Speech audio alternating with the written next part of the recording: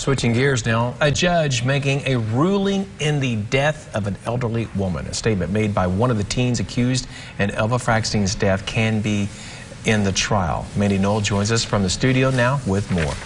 It's been more than a year and a half since two teenagers were arrested for the kidnapping and murder of Faulkner County woman Elvia Fragstein.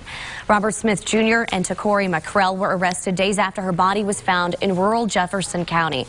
Police say she was kidnapped from a Conway mall and beaten to death.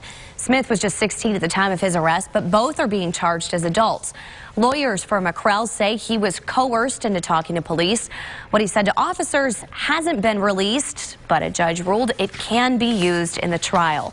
Both men have pleaded not guilty to all charges. Back to you, Pat.